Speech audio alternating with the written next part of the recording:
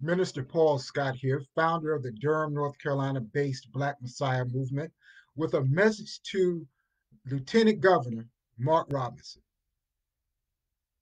How dare you insult my ancestors by even insinuating that systematic racism does not exist in this country?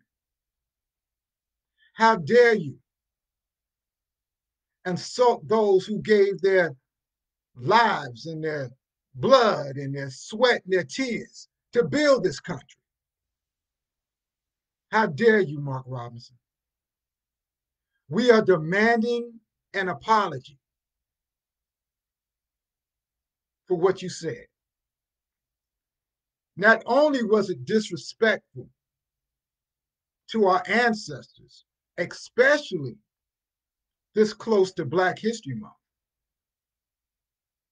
but it did not reflect the truth of history at all.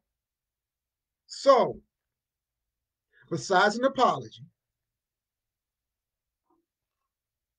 I suggest you read this book,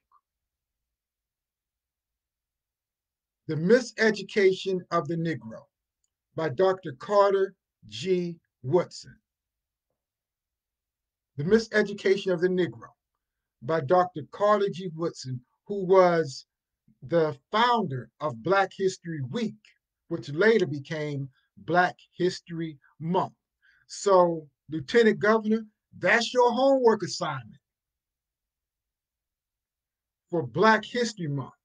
Read The Miseducation of the Negro because you have clearly been miseducated.